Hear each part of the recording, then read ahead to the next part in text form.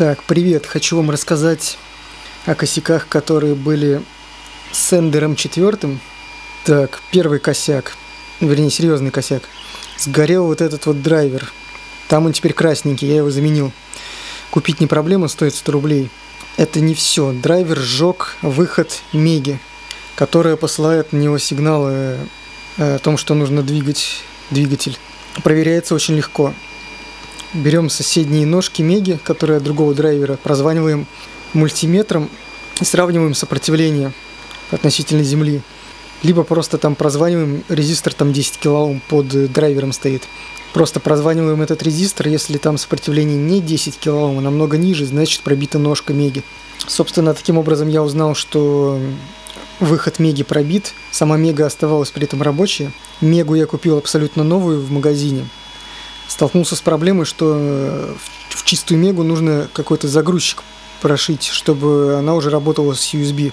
Чтобы прошить загрузчик в мегу, пришлось купить вот этот, опять же, дешевый китайский э, программатор. На него есть программа, нужно в интернете искать. Называется ProGisp версия 1.72. Он работает только с ней, насколько я понял.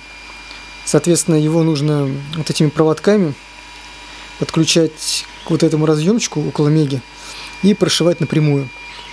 Э, программа работает все отлично, все прошивается без проблем. Э, что дальше случилось? Дальше случилось то, что э, обычный загрузчик с Arduino, который туда прошивал, все равно не работал USB.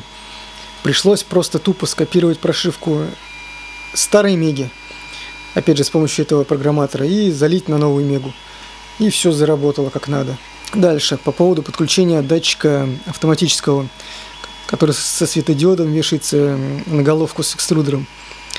У него три проводка там под, подходят. Чтобы он работал, нужно в э, прошивке в Марлине инвертировать этот датчик, потому что он инвертированный.